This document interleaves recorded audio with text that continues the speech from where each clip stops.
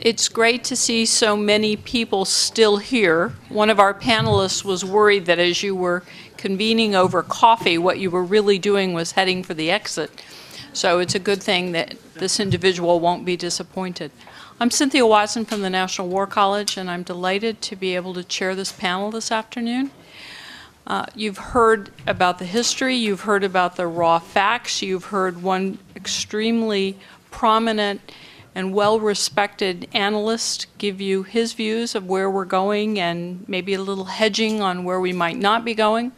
Uh, but on this panel, we'll try to get a real range on what the individual speaker finds to be the most telling and pressing issue uh, that he or she thinks we need to look into for the future. This is a concluding panel, so I will ask everyone to try to leave some time, adequate time for questions and answers. Uh, but I want to make sure that all of the perspectives represented on the panel have the opportunity to give us their views. I'm going to ask that we start with Dr. Chu, who is, you have the biographies, but coming to us from Tsinghua University. Then I will follow with um, Dr. Lai, so that we move from the mainland uh, over to Taiwan, then Alexander Huang. Dr. Huang will be our third speaker, and then concluding will be uh, Bonnie Glaser. So, Dr. Chu.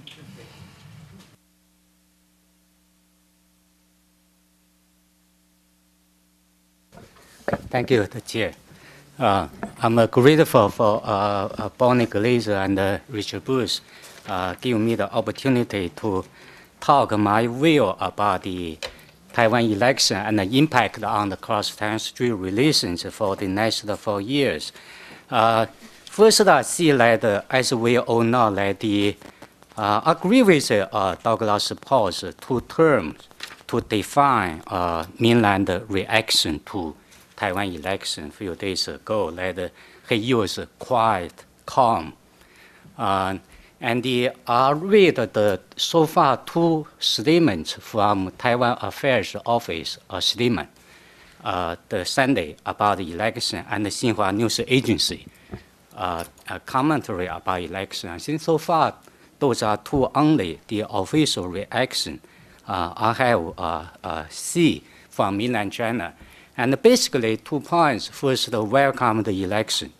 Uh, second, and believing and hope that the two cross Taiwan Strait uh, relation can continue to be stable, peace, and development. Uh, and uh, yes, agree with the previous assessment that the mainland feel uh, relaxed uh, about the election. Uh, the reason for the uh, relaxed attitude is that the mainland also wants to see stability of the cross Taiwan Strait relation. This is quite agreeable, same attitude with uh, people uh, inside Taiwan and here in this country, that is stability. That is the, the central theme that uh, President Hu Jintao produced uh, before and at the 17th Party Congress in 2007 about the central theme of mainland on cross-Taiwan relation and peace and development peace and stability are the same meaning, same words. And yes, mainland worry about the DPP uh, uh, uh, position, uh, especially if DPP won, because uh, if DPP wants, that stability, stability will become a question, peace uh, and stability. And then mainland does not want to see that in stable position in next four years. And the reason for mainland to welcome and uh, uh, wants the peace and stability across Taiwan Strait relation is because mainland in next four years uh, has a full agenda uh, in domestic uh, issues. Uh, like the Beijing leadership are see like fully occupied by the internal issues uh, economic continued growth, uh, uh, inflation, social inequality issues, corruption, and the public anger on something, and social political stability So it would like to see like the cross-Taiwan Strait relation will, will be not, no trouble uh, now and in future. Uh, so uh, working on international affairs, uh, my understanding of Beijing's attitude the, like its leadership fully occupying uh, domestic issues, does not care about others, including United States. Uh, uh, if you do not bring us trouble, uh, uh, including from Taiwan, uh, so I see that is, uh, that is a general trend, and this reason uh, why the mainland like to see stability, because the priority is internal. Uh, and the, so I see that the that is basically reaction attitude that the mainland uh, uh, see from the uh, towards the re, towards the election. And the second, talking about the impact. Uh, I see the election will outcome will uh, bring about the another uh, positive impact on cross-country relations in the future for years. That will uh, continue to have stability and more progress in social economic issues, like they call the 事务性 issues. 事务性 issue is basically uh, social economic issues. Uh, there have been uh, 16 agreements in the past uh, most four years. I think in future uh, there will be some uh, thing following up and implement uh, issues like investment protection agreement, uh, law enforcement, and education uh, cultural exchange in the future. So there are still some uh, work to be done, like the previous speakers talking about. Uh, so uh, I see that the, the result of the election in Taiwan uh, will, uh, uh, will give the opportunity for two sides to continue their efforts uh, from the past four years to improve their social economic context ties. That is general trend. So that seems to be clear, the impact. Another impact that we have talked a lot is not clear. That is uh, the impact on political security relations between two sides across Taiwan Strait in the future. Uh, and we, we have a lot of uh, debate uh, this morning, this afternoon about the political security talks. Uh, here I should say that most mainland Chinese would want to see that uh, in future for years that two sides can start political talks and make agreements uh, on the political issues can be uh, Corps or others. Uh, this is very much general public opinion on mainland side China.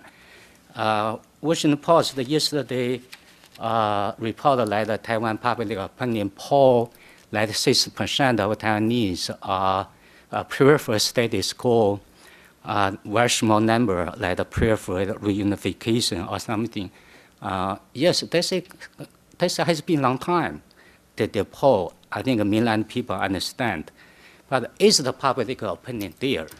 But in on mainland China, we also have a public opinion. Uh, and the public opinion is quite in consensus. Perhaps is 90% of people. And it is quite strong uh, for national reunification, for some movement towards national reunification.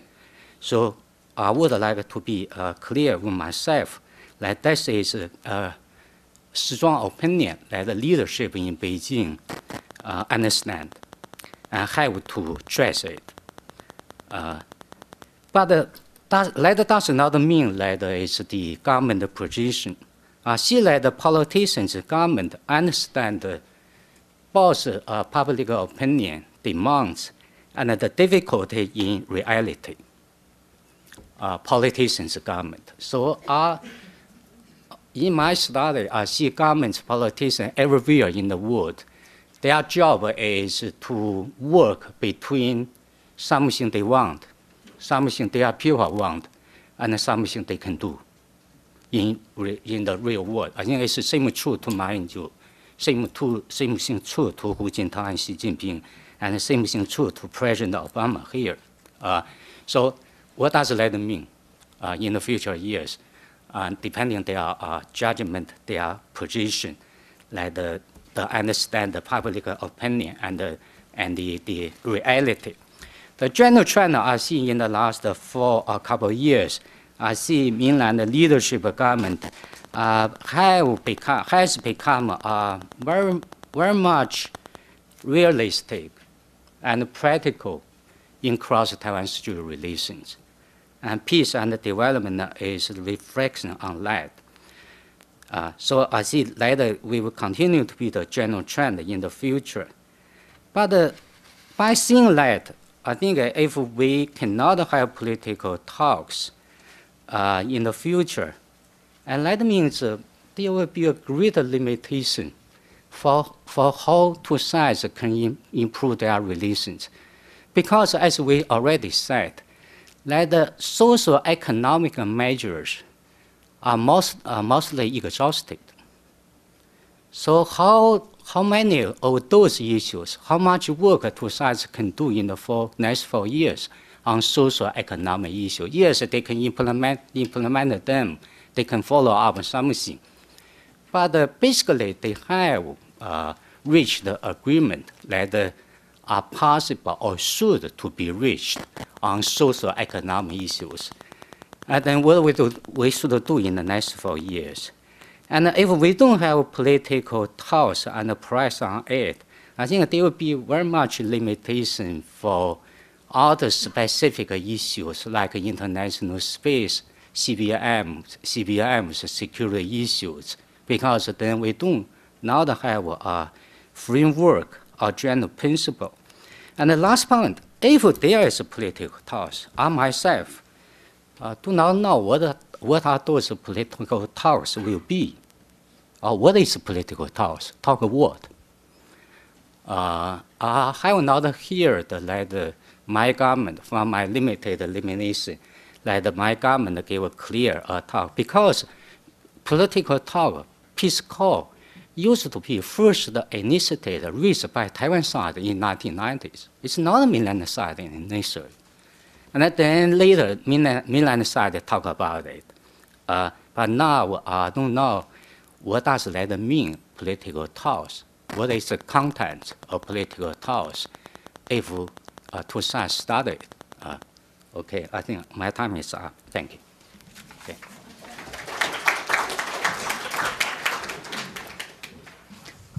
Dr. Lai, I neglected to say, is from Taiwan Think Tank.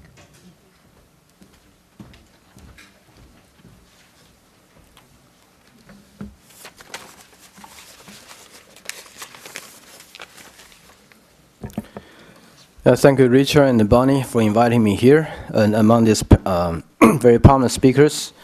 My name is I-Chung Lai, and I've not been to the United, well, the DC for about five years. So um, I'm very glad to be back here again, although this is in a circumstances I wish it could be in a better position. But, uh, well, the reality is like this, and so I uh, thank you for uh, this invitation. And of course, we all know from this morning about the election result. And the reality is that, yes, Ma win the election, and, but uh, uh, com in comparison with what he got in year 2008, uh, the uh, difference between him and, and the opposition uh, down from 2.2 million to 800,000. So it's about 1.4 million votes uh, uh, loss. And also uh, his legislative uh, majority also down from 81 seats to 64 seats. So it's the decrease of 17 seats in legislative yuan.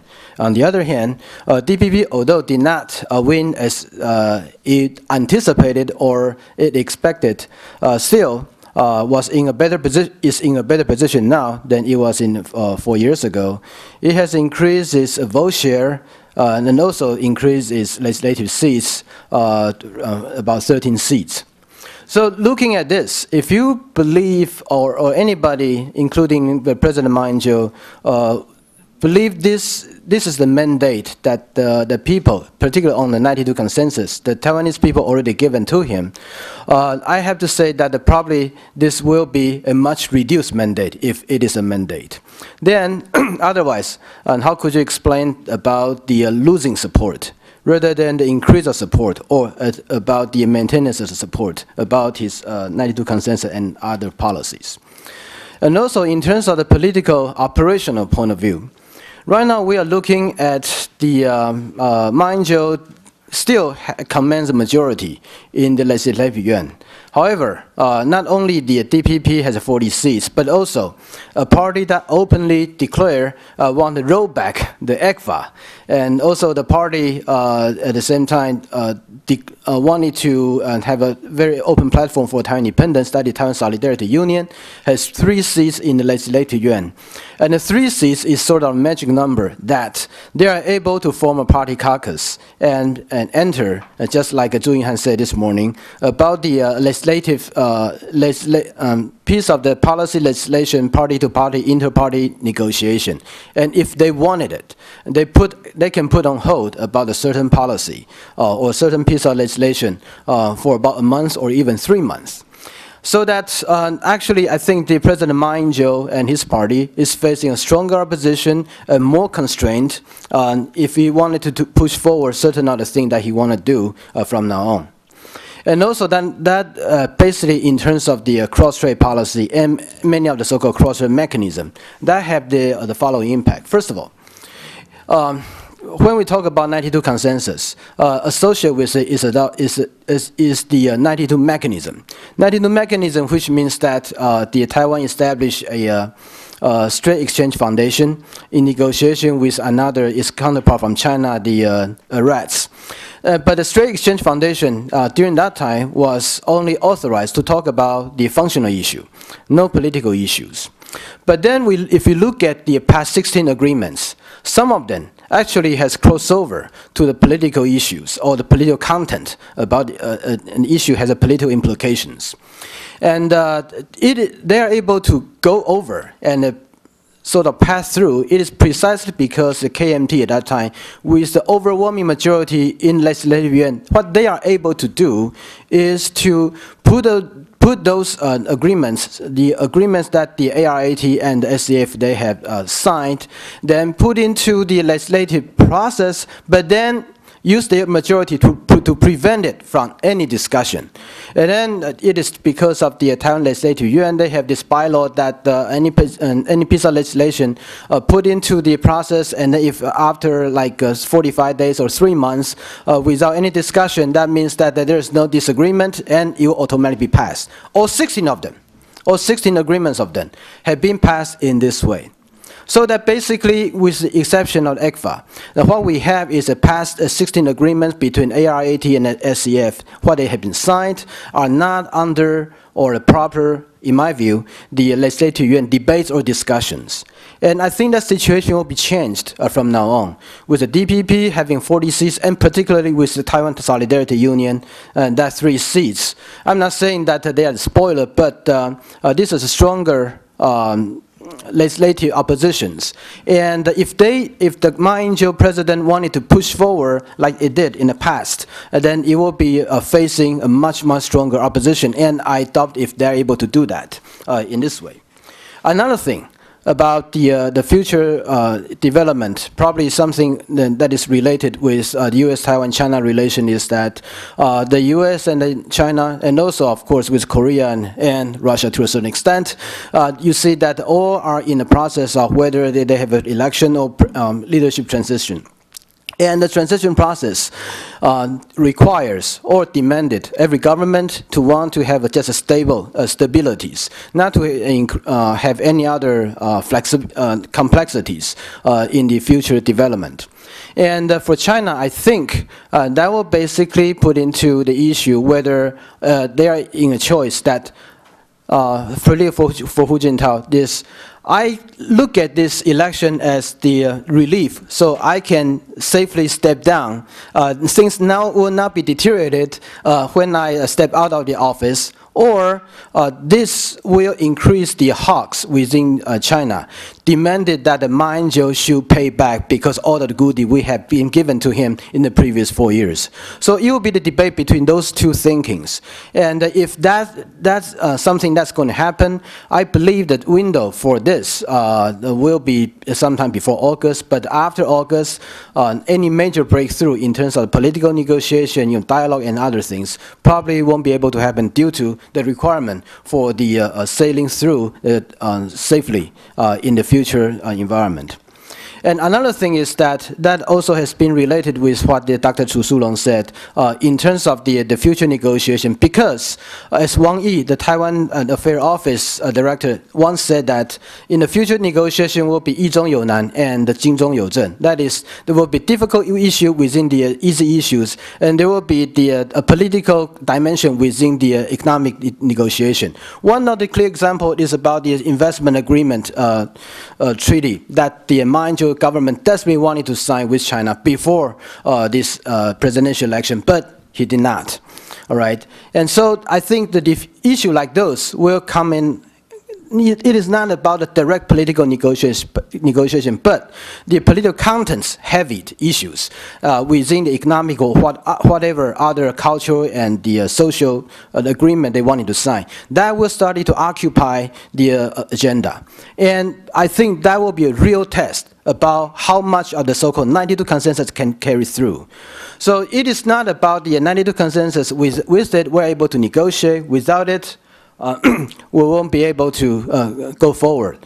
It is under this Manchu government and uh, with Hu Jintao facing those difficult issues, the already existing, the 92 consensus, would that be able to carry the very heavy burden for things to meaningfully going forward. If it is not, for example, if there's a delayed or another uh, very less than um, wanted uh, the result in terms of invest investment protection agreement between Taiwan and China, how would that uh, reflect to the people in Taiwan? How would that uh, make the people in Taiwan feel about the uh, the uh, cross-strait relationship will be going?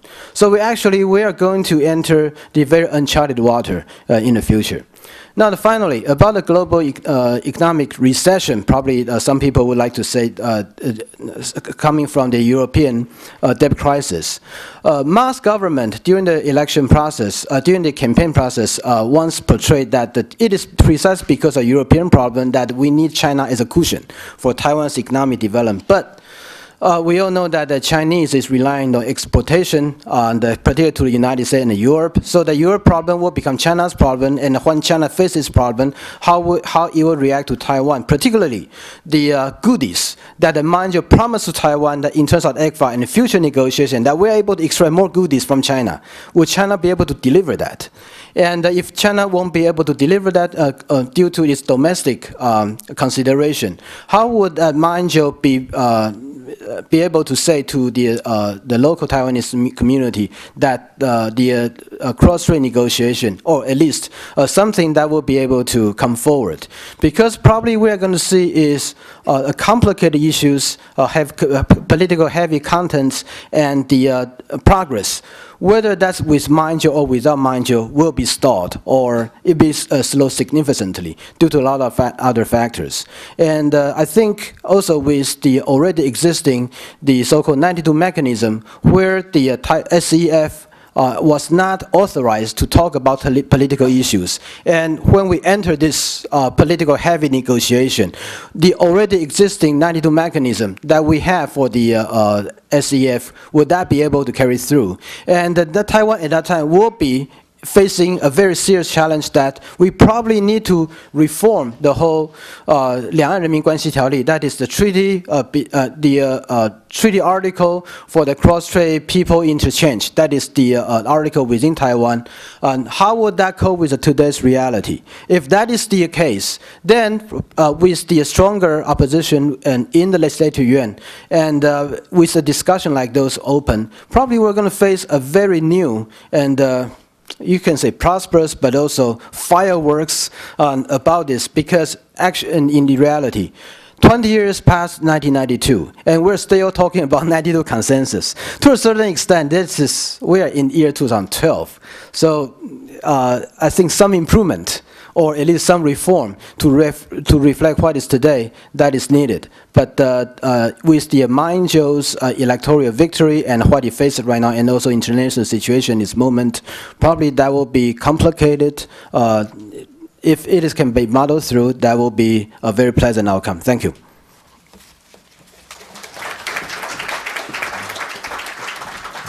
Dr. Huang of Tamkang University.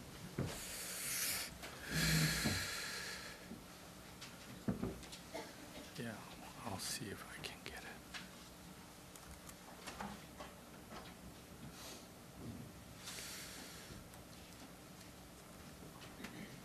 Where's mine? Where's mine? Here's the PDF, Yeah. Oh, okay. How, how can I view? View uh, full set? Okay. Well, thank you. Uh, Thank you for the invitation, uh, Richard and Bonnie. Um, This is um, a little bit before Lunar New Year. I'm, I'm very happy to be back in Washington DC. You know why. Um, uh, This is the, Richard, you remember, four years ago, three days after the uh, election, I presented this uh, slide four years ago, and I say it won't be mama hoo hoo. Uh, yeah, maintain uh, a high, high altitude, uh, not to be disrupted by small events, uh, pursue a, a peaceful environment. And, and I checked the list, and I think uh, pretty much, you know, excluding the economic, uh, excluding the political and other sensitive security issues, pretty much in the past four years, those things have been carried out. Uh, not by Taiwan itself, but together uh, between mainland China and Taiwan. And now, um, let's go back to check. Uh, Ray, I promise that your picture is on. Um, let's uh, look at the first term of Ma Ying-jeou. Actually, there was some misunderstanding uh, of Taiwan's relations uh, or Taiwan's rapprochement with China. Actually, uh, Ma Ying-jeou's guideline was uh, Qin-Mei, He Zhong-en Ri," and Qin does not equal to He. Okay, and uh, I specifically put on the picture not only showing you how happy Ray was, but also um, to remind you that uh, Ma Ying-jeou, when meeting with Ray, uh, had put a pin on uh, on the jacket. That's uh, the flag of the my country and uh, the United States, and that shows that sincerely that Taiwan, when engaging dialogues, negotiation with Beijing, did not put aside of the United States interests. Um, and so, was Ma too close to China? Uh, who knows? You know, only Hu Jintao can answer that. And I'm sure their, his answer would be different from a lot of people. And Ma's second term China policy, we spent a lot of time debating and talk about 92 consensus. But uh, we all agree that uh, Taiwan voters in this election decided uh, to maintain the stability, to keep uh, uh, policy consistency in their mind. And uh, if we look at the future agenda in the next four years, I would say that, that or economy first and politi politics or political issues later, will remain the dominating guideline in the next four years. Uh, not only because that we have more than two dozens of potential agreements or proposed uh, negotiations is already at the plate between Straits Exchange Foundation and the ARATs on the other side on connecting to the ECFA framework agreement. Um, our negotiation agenda is full and probably cannot be completed in the four years. But also, as uh, Professor Lai mentioned, that Ma Ying-jeou is now facing a stronger opposition in the parliament. So he needs to be more careful, uh, more sensitive to the Taiwan uh, uh, public opinion. Uh, how about the political or military uh, negotiations? Uh, it's unlikely because the political agenda is full. Um, not only uh, Beijing, as uh, Professor Chu remind us that Beijing will be distracted by domestic issues, um, but also Taiwan is a small state. We need to manage our relationship with two nuclear powers. Uh, so before the agenda in Beijing and in the United States are settled, that we need to be more cautious, at least this year. So if I may use this timeline uh, to make my point, uh, starting from yesterday, that uh, we will have a four month of transitional uh, cabinet. We may have two full cabinet resignation before between February and May. So in Taiwan itself, as we all know, we are all in capital city. Uh, when government in transition, there are a lot of restrictions in terms of policy decisions. And then we have to wait until the agenda in Beijing and uh, the U.S. election to be settled. And looking into the future, uh,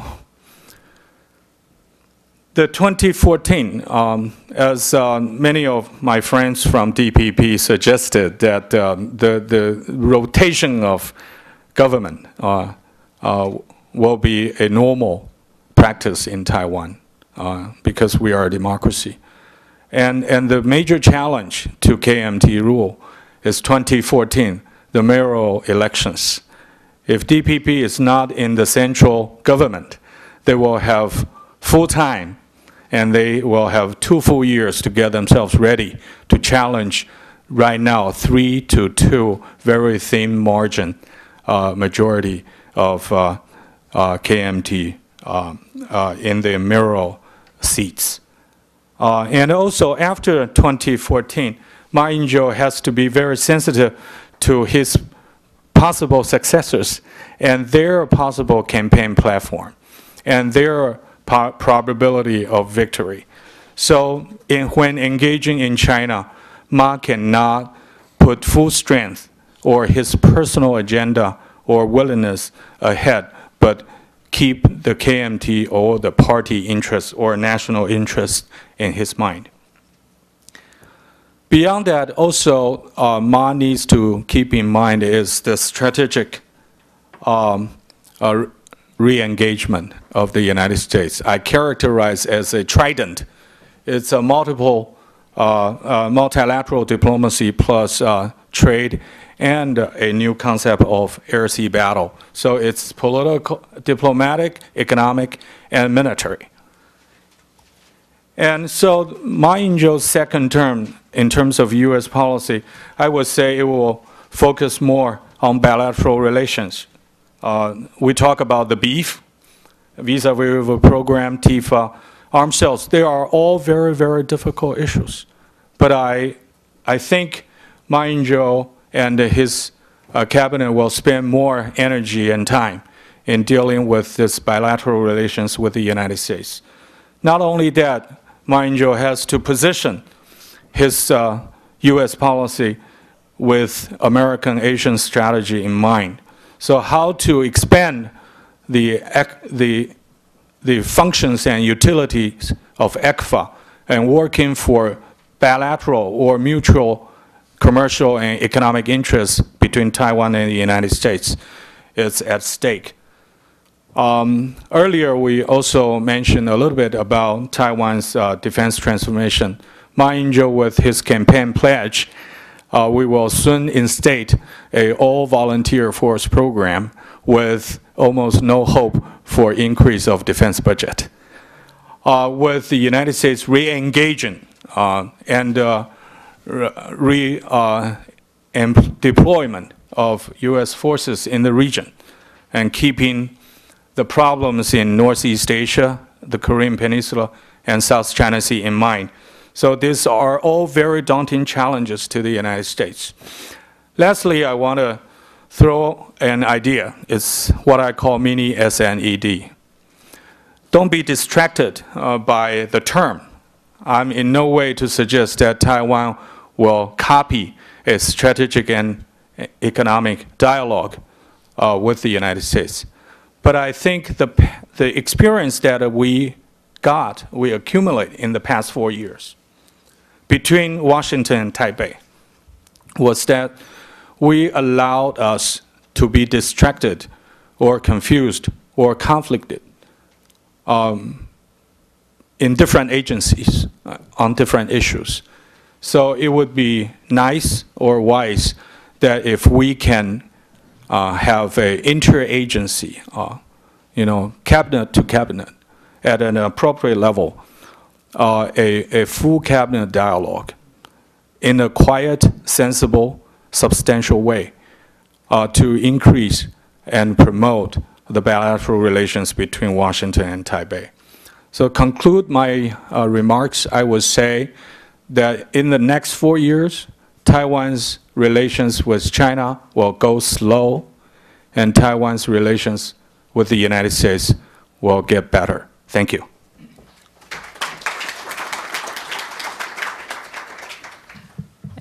Our concluding speaker is Ms. Glaser.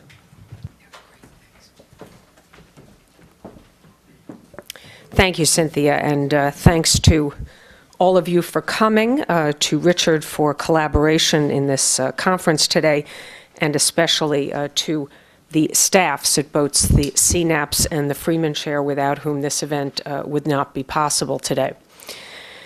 So, first, what are the implications uh, of this election for the United States? This was Taiwan's fifth direct presidential election. Uh, the campaigns and election day itself were, well, um, normal. Some observers said uh, that there was less excitement than in prior elections and that the process was fairly ordinary and mundane. After all, there were no bullets and there was no firing of PRC missiles. The normalcy of this election marks a maturing of Taiwan's democracy, and that is most important, not who was the winner. It was an orderly process in which the presidential candidates presented their views to Taiwan voters who made up their minds about whom to support. Taiwan has demonstrated the strength and vitality of its democracy. A healthy democracy requires a strong opposition and keen electoral competition. And Dr. Tsai Ing-wen brought her party from its nadir after Chen Shui-bian's presidency won 46% of the vote and 40 seats in the Legislative Yuan. She raised important issues, such as the widening gap between rich and poor, and she conceded defeat gracefully. Opposition parties play a critically important role in democratic societies. They keep the ruling party honest and help to bring better governance. The DPP will continue to play that critically important role in Ma's second term. When Ma won in 2008, President Bush called Taiwan a beacon of democracy to Asia and the world. Although that language was not repeated by the Obama administration in its congratulatory message, it nevertheless remains true today. Taiwan especially represents a model for the people of mainland China to aspire to. Mainland Chinese tourists and students in Taiwan witnessed the campaign firsthand. Even larger numbers watched the presidential debates and the election results live via satellite TV. The election was the subject of postings in internet forums and on Chinese blogs. In years past, many mainlanders described Taiwan's elections as chaotic and violent and viewed Taiwan's democracy as false or a negative model for China. This election has altered those views fundamentally. Many PRC citizens observe this election with respect and envy. One blogger wrote, and I quote, This is a first step in civil rights. This is a way we can learn how national leadership should be elected. Only when state leaders are elected via a democratic process can China become a democracy. Leaders produced via other methods are only dictators under a fake skin of democracy. End quote. Ma's re-election for a second term will ensure continued stability and predictability in cross-strait relations, which is critical for American interests. Ma has pledged to continue his three no's policy no unification, no independence, no use of force. And therefore, the United States will not have to worry about the reemergence of cross strait tensions or the implications of reunification. The U.S. will continue to support Ma's pragmatic approach to dealing with Beijing. There will not likely be pressure on Ma to move more slowly or more quickly in promoting better cross strait relations. The U.S. will leave it up to Taiwan to decide. Washington will expect to be consulted as a friend and quasi ally with important interests at stake.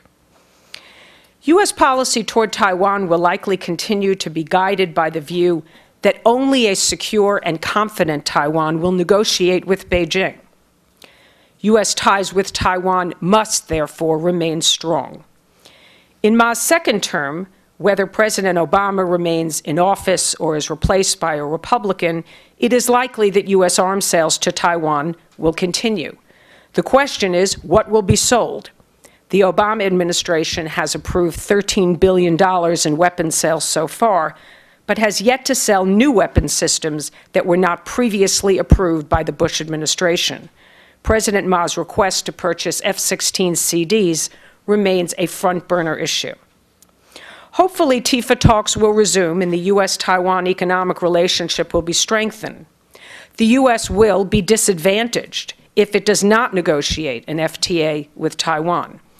Taipei is now in trade talks with Singapore, and New Zealand, India, Japan, Australia, and the, and the European Union have all signaled a willingness to open bilateral trade negotiations.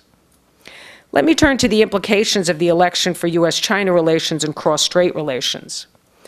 In the past few months, Beijing has not loudly opposed the many measures that the Obama administration took to bolster ties with Taiwan, including visits to the island by several senior U.S. officials.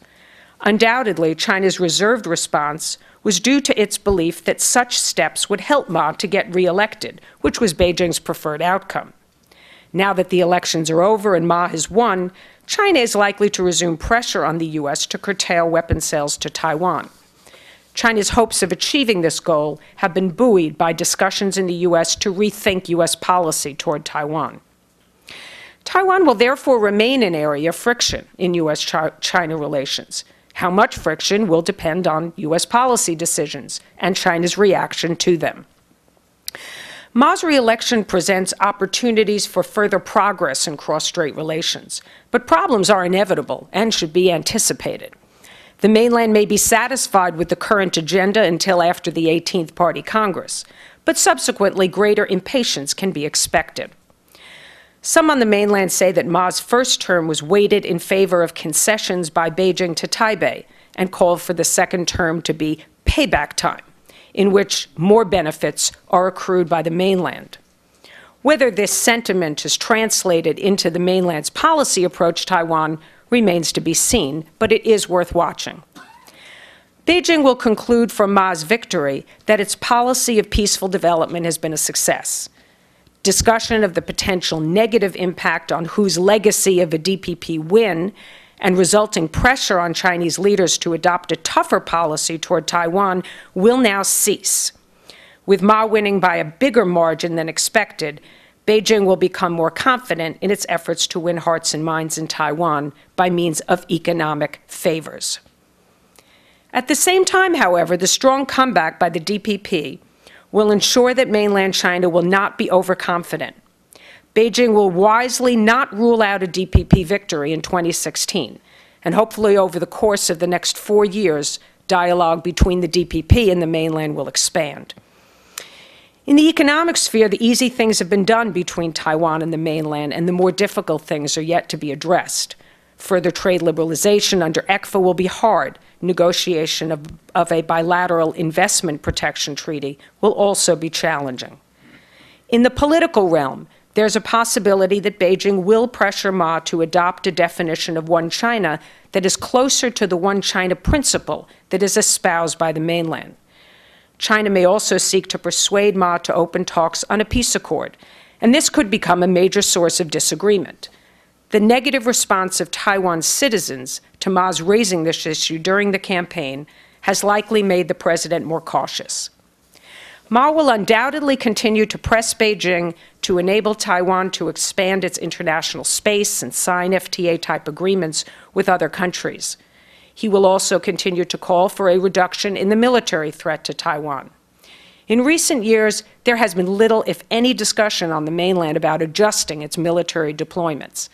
I'm personally doubtful that mainland China will make any moves to do so, in part because the Chinese remain wary of the return to power by the DPP, now possibly in 2016.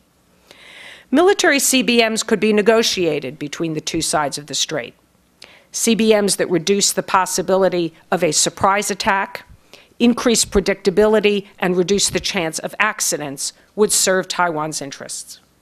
A potential meeting between Ma and China's next top leader, Xi Jinping, could take place if Beijing support, supports Ma's attendance at APEC. It is not likely, in my view, that Ma will visit the mainland because Beijing would not agree to host him as the ROC's president. In sum, the U.S. China Taiwan triangular relationship can be expected to remain basically stable. Problems will invariably arise in all three sets of relationships, but are likely to be manageable. Thank you very much. I'd like to thank each of the panelists for remaining true to the time, and I'd like to open up. We have 25 minutes roughly for questions. Please give your identification and be as succinct as possible.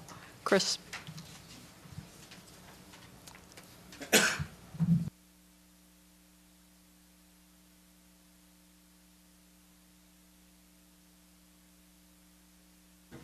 Wait for the microphone, Chris. Oh, there we go. Thanks. Uh, Chris Nelson, Nelson Report. Uh, uh, thank you so much, all, all, of you, for talking about the economic component so much, because it's the other thing I try to write about, especially on TPP. Um, I'd like to ask uh, all of the participants, and perhaps even Ray Burghardt, who's trying very carefully not to look at me, uh, so he just. um, is it realistic to talk about Taiwan and TPP from a, num- a number of, of, of, of uh, vantage points. Uh, China, at the moment at least, seems to see TPP as yet another uh, sort of element of what it sees as a U.S. containment policy. It, it, does that in itself make TPP sort of a, a hot thing to even talk about? that is going to they're going to see see that as, as, a problem, or would it be unrealistic to say no? actually, to get the U.S. and Taiwan uh, talking about how Taiwan might get into TPP could help show the Chinese, given ECFA, that uh, TPP is not aimed at China or against China, but it's something that China could also look at. Uh, and then from you know the the, the either or possibility, uh, again, and maybe this is where Ray can help us out. Um, uh, uh, what does need to be done so that it would be realistic to talk about Taiwan joining into TPP? Or is that just one of those things that you know we'd all like to talk about, but no, no way? Thank you.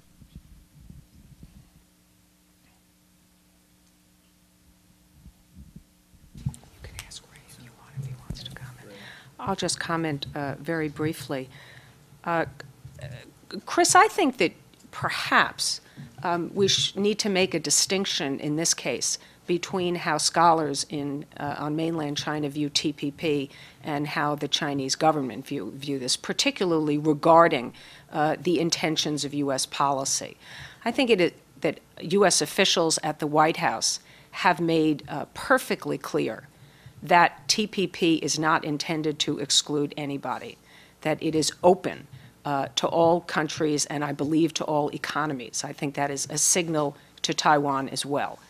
Uh, I believe it was uh, uh, Michael Froman at the White House who made the statement that TPP is not something that you get invited to, it is something you aspire to join.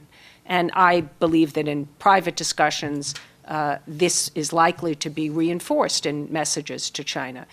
It would undoubtedly be beneficial to the United States, to Taiwan, to the rest of the region if China actually were to join TPP and conform to all of the high standards that are involved in this, uh, that will be included in the, uh, in, in the uh, FTA agreement eventually.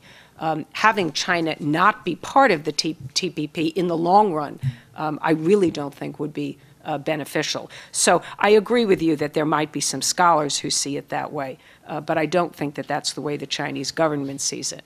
Thank you. Quick response, Chris. Um, I think from the uh, standpoint of Taiwan, um, you know, Taiwan has long feared that uh, will be uh, marginalized economically. Um, and uh, was one approach or one solution. Uh, but but uh, joining the TPP is, is a long-term goal. As uh, President Ma Ying-jeou in his uh, press statement said that uh, in the next 10 years we will try to work hard to meet the high criteria that TPP requires. But all these efforts, uh, point number one, is to put Taiwan or, or help Taiwan to escape from this possible economic marginalization. Number two, I think uh, the, the biggest obstacle, if we sit in Taipei, the biggest obstacle is not Beijing, it's our domestic support. Uh, you know, uh, the leadership or, or President Ma Ying-jeou in the next several years would have to, you know, engage uh, in conversation and discussions not only with uh, oppositions but also with uh, different sectors, the agricultural, the service industry, the manufacturer. It's a, it's a daunting obstacle for Taiwan to meet the criteria before we think of whether we wanted to join something that opposed China or antagonized China. Uh, I agree with Bonnie uh, that there are different views in China about the TPP. Yes, if you read the Global Time or some scholars, uh, they tend to in interpret everything U.S. does in Asia to contain China, uh, including TPP. But the official and the mainstream scholarship view, uh, and including my view, uh, basically see TPP as competition that the U.S. has with China, not a containment. A competition for interests, for influence, for ties uh, in Asia Pacific. Uh, I see that so far most Chinese do not worry too much about TPP. First, it's going to be a long-term process uh, for negotiation. Uh, second, the, the, as, uh, uh, uh, as Dr. Huang said, the criteria is too high for even for Japan to meet. Third, I think most Chinese tend to have confidence that nothing is going to likely to replace that we are largest trade partner and the market for most Asian economics, uh, whether there's a TPP or not in future. Yeah, it seems everybody's responding, so I have to do the work, the same. um, basically, from the adding to what the Alexander's point, I think um, Taiwan signed the uh, ECFA with China. If China rejected Taiwan to participate in TP negotiation, uh, showing anything like this, that will be demonstrating to Taiwan that uh, uh China only allow the Taiwan to be on an economic part of China, but uh, not to let Taiwan to engage with the rest of the world economy. And that will be not good, and not only to the people in Taiwan, but also uh, it will reduce the support for Ma Ying-jeou in terms of his popularity in Taiwan. Another point about the um, the complexity or the difficulty in the uh, TP negotiation. You look at the Taiwan economic negotiation with New Zealand, with the Singapore, well, that, that probably will be a little bit easier. But with the India, that's going to be a difficult one. And because India specifically raised that it is not just about the goods, but also the movement of people and other, it had to be comprehensive. So the TPP negotiation, Taiwan uh, encountered difficulty, will also uh, be the one that Taiwan encountered difficulty in negotiation with India and other countries. And I think uh, that is not whether Taiwan is ready or not, but uh, it's a political will and if Taiwan we really like to push over, in particularly that the DPP already uh, ring its support for the TPP. So I do not think that uh, in this issue the difficulty is really that big because that is the one that really has endured the so-called Taiwan consensus. Thank you. Ray Burghardt, would you like to comment? I don't want Chris to think I'm ducking him. So yeah, um, I mean, you, people have said it all. Uh, TPP is a serious uh, broad deep trade agreement, very unlike the kind of trade agreements that have been signed recently within Asia, particularly very unlike the China ASEAN agreement, um, also very unlike ECFA.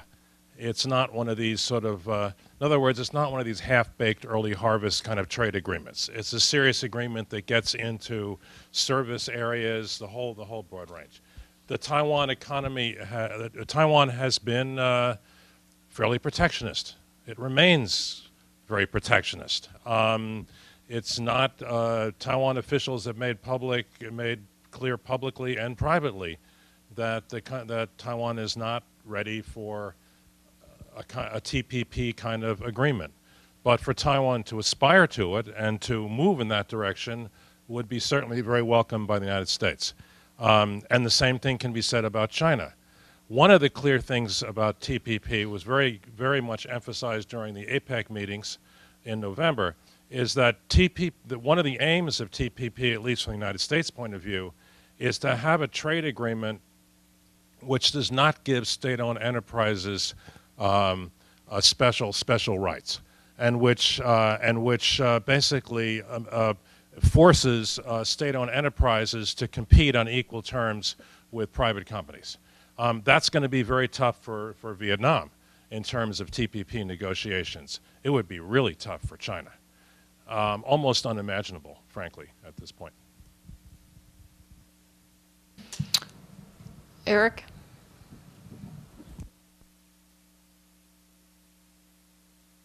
McVadon Institute for Foreign Policy Analysis. Alex, I liked your strategic uh, trident for all sorts of reasons. Um, but uh, you mentioned TPP. When you said the multilateral diplomacy, what countries were you primarily talking about in multilateral there? And I missed the third prong of the trident, so remind me of that. Uh, Dr. Lai, uh, was the uh, tension, residual tension over the uh, Chen Shui-bian era for the DPP and the U.S. Uh, considered a significant factor in this election, and is the DPP going to do continue to do things to try to build a better relationship with the U.S. government while it's not in power? Uh, very shortly, uh, when I make the case of strategic trident, basically I look at the three elements that in the past two, or three years that the United States has been done. Uh, the multilateral diplomacy means the more proactive participation of the United States in Asia Pacific regional fora. Uh, you know, from uh, Secretary Clinton's efforts, from APEC, from ARF um, and East Asia Summit, all the way to uh, even initiative to the uh, Pacific Islands.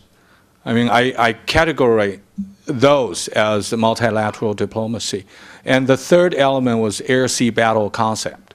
Okay, so it's a combination of uh, diplomatic, economic, and military re-engagement of the United States in the region. Um, actually, I don't quite understand this question. That is uh, the uh, tension between DPP and the U.S. government during the Chen Shui-bian era. Uh, how will DPP will be able to readdress that, uh, in particular right now? And uh, uh, I think if you look at the Tsai Ing-wen, her leadership during those four years, that she um, particularly does not want to uh, put the so-called the identity issue and the unification versus the independence issue up front. And uh, I think it is important to note that uh, uh from the campaign, I mean, this is uh, way before when she entered the primary within DPP, all the way until today, I believe, that in the campaign process, she refused to call China by name. She never made any bad statements referring to China. It's always something that we can discuss, and she even offered that we are willing to talk about anything with no precondition. With no precondition, which means that Taiwan will not attach any condition China has to abide by. And if I'm going to, to be more specific, China does not even have to withdraw these missiles. China does not have to uh, renounce its so-called one China principle. And China does not have to do anything we are willing to talk anytime, any place, anywhere. So that is what the Taiwan actually pledged. And uh, if you look at the 10-year platform, that is during the uh, DPP's uh, part of Taiwan's process. Uh, one of the 10-year platform in the so-called core idea, in which uh, that is article about how to reach the social consensus within a democracy. And uh, if you look at that, the, there are distinct in terms of language differences uh, with what the uh, Taiwan uh, future resolution is.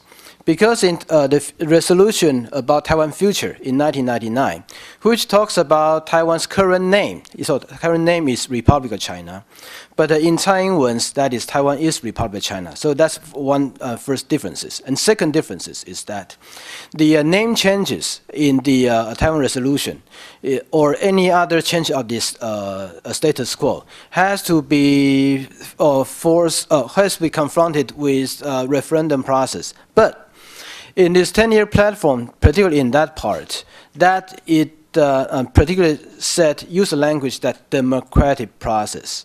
So it dropped the word about referendum and uh, using democratic process instead. So all those are just uh, signify the kind of the changes and also sensitivity that she had in terms of lowering down the uh, possible tension across the strait. But unfortunately, that uh, when Tsai mentioned those things and when Tsai uh, made those gestures, uh, the, uh, she was met uh, by the, uh, particularly later on, the Chinese official calling her by name and taking the, her position that the ROC, Taiwan is, is ROCS, that's a disguised Taiwan independence strategy.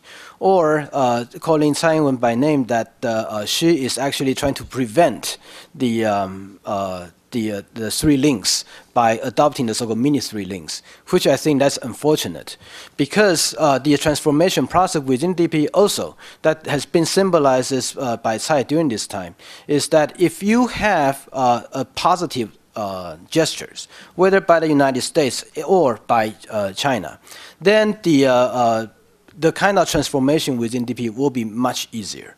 So that's, and then we are left with this, that when the Tsai is about to resign from leadership, uh, how the 10-year platform, would that just cease to exist because she resigned from the leadership, or that will continue to stay there? So that's going to be another question. Thank you.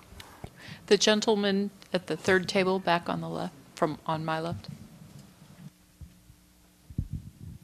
Hi, uh, my name is Raymond, and I'm from the Carnegie Endowment. Uh, it seems to me that the midterm prognosis seems to be uh, cautiously optimistic, but a lot of that is obviously contingent on Ma having won the election. I was just wondering to, if we could explore a little more the, the possibility of uh, not so much a DPP victory, but necessarily a DPP uh, communication with the Communist Party or the Chinese government. Uh, specifically, it seems that from the perspective of a lot of DPP folks, including the perspective we just heard, uh, that DPP has gone through a very intense process of transformation and it's moderated itself, but still China is deeply suspicious uh, from, from its perspective of what the DPP's actual goals are and what its agenda is. So, in that light, do you see uh, it necessary for the DPP to go through an even more uh, significant and painful process of renewal? Uh, to moderate its demands, to come closer to a different understanding of sovereignty? What is the likelihood of that actually happening? And if that process were to fail, uh, what would the implications uh, for Taiwan's democracy, uh, for cross-strait rapprochement be? Thanks.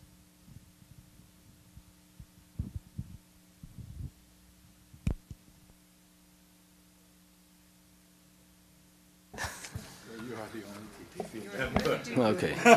Yeah, yeah, yeah. The uh, DPP CCP uh, dialogue, uh, I think that has uh, happened um, particularly last year, uh, later half of last year.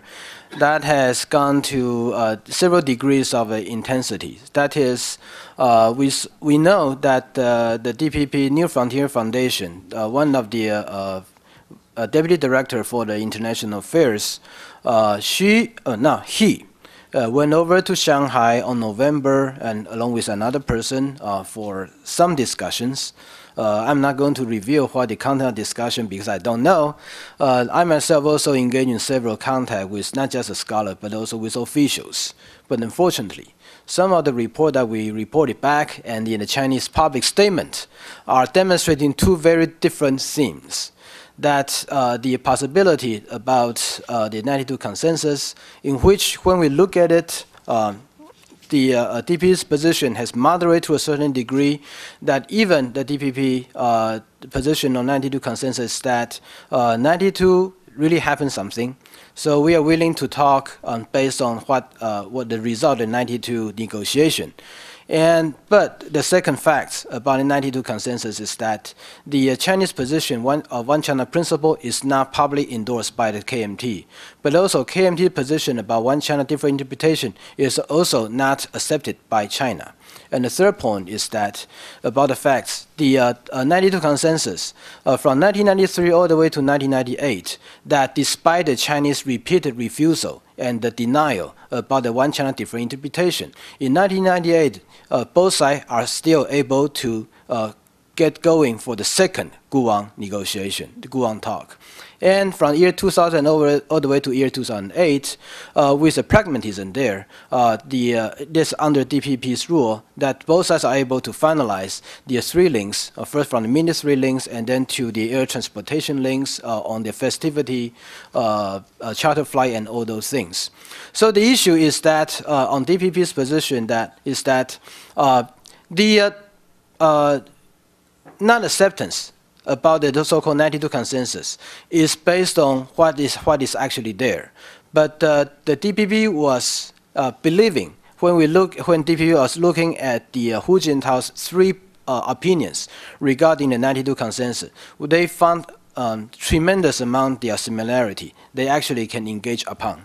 So those are the uh, the issue because I'm just taking this uh, occasion to talk about the uh, uh, one part of the examples about how the difference between both sides in terms of 92 consensus. But uh, I think me, DPP to a certain extent misjudged about how the 92 consensus and all those is particularly signified to Hu Jintao himself because it seemed that Hu Jintao, he is the one that personally take these things as uh, and take the political risk within his party to really going forward uh, in order to uh, in his management about the Taiwan issue, and uh, rejecting this sort of like put a public uh, a slap in his face that uh, the Hu Jintao would never accept. And I think that kind of the underestimate about the, how this personally mean to Hu Jintao is some, some of the lesson that DP needs to learn. But how would that mean to Xi Jinping and others? I think that would be the open things. Thank you.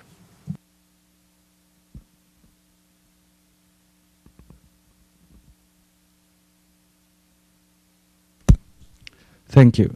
Dong Huiyu with the China Review News Agency. Uh, my question is for uh, Mr. Chu Shulong. And uh, I remember you wrote an article in Global Times a couple years ago arguing that uh, China doesn't need to uh, focus too much on the U.S.-China relations or take the U.S.-China relations too seriously. And how would you view the U.S. factor in the further cross-strait negotiation regarding the political and security issue? And this question also for uh, Mrs. Bonnie. And uh, you mentioned that the U.S. won't push the developments of cross relations uh, faster or slower do you think the U.S. Uh, would be really happy to see a closer cross-strait uh, tie, and also the uh, what the uh, the possibilities of reaching the peace uh, accord, although the opportunity will be very small. What role the U.S. will play in this process? Thank you. Uh, my, my, argument from then till today it's basically you look at the national uh, ground strategic point of view, China uh, argue China become much more internal oriented. Uh, I think that's the general trend in whole China. Uh, and that trend will be continued. I think that trend is good for Chinese uh, foreign policy, foreign relations. Uh, but that does not mean uh, U.S. is no longer important to China, including Taiwan situation. I should say in the past 10, more than 10 years, including Bush, eight years, Obama, uh, near four years, U.S. has played a very positive, stabilized role in cross-Taiwan security relations. I think the uh, relatively peace, stability, uh, cross-Taiwan release in recent years has a lot of uh, uh, contribution from the U.S. side. Will the United States be happy to see improved cross-strait relations? Um, absolutely. I think that has been quite clearly stated uh, by uh, the, this administration and also by George W. Bush administration. Many people in China seem to not want to believe this. I was I was listening um, to a CCTV uh, interview with a Chinese scholar the other day after the elections, and he predicted the United States is going to ensure that it slows down the progress in cross-strait uh, relations. I really think this is nonsense. Uh, the United States has repeatedly said that what we care about is the process. We want differences solved uh, peacefully and uh, without any coercion uh, or an undue pressure uh, by uh, the mainland on Taiwan.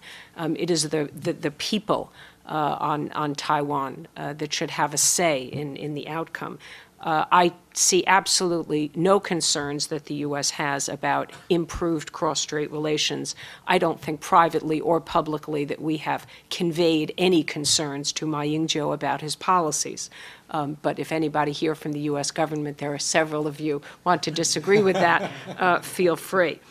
Uh, what is the U.S. role in a peace accord? Um, I would say none unless the United, unless uh, Taiwan and mainland China want the United States to play uh, some role. I don't believe that you will see any active effort by the administration uh, to encourage or discourage such uh, talks. If that's something that Taiwan and the mainland agree that they want to talk about, um, I think we will we will certainly be uh, supportive. Uh, it, but it's I think that Taiwan probably would like the United States um, to play some role, for example, in a, I've talked with people in Taiwan about uh, confidence building measures in the military sphere, and many people have said they would like the U.S. to play a role of guarantor. Um, again, that's unless it's something that the mainland wants, I think that the United States would not do that, though it might be important for a third uh, country or several countries uh, to play that role. Thank you. We have reached the end of our appointed time. I'd like to ask you to uh, join me in giving this panel a round of applause.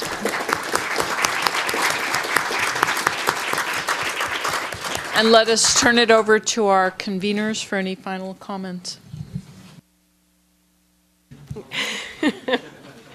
Well, I just want to thank you all uh, for coming. Very much appreciate the interest um, and your your questions and uh, and and uh, your your engagement on this issue. And we will continue to uh, hold events in the future um, and publish uh, in the future. We will have this this event on our respective websites, both Brookings and CSIS, and we will also be posting with the uh, agreement of the speakers today, uh, either the text of their presentations or the PowerPoints. Thank you very much.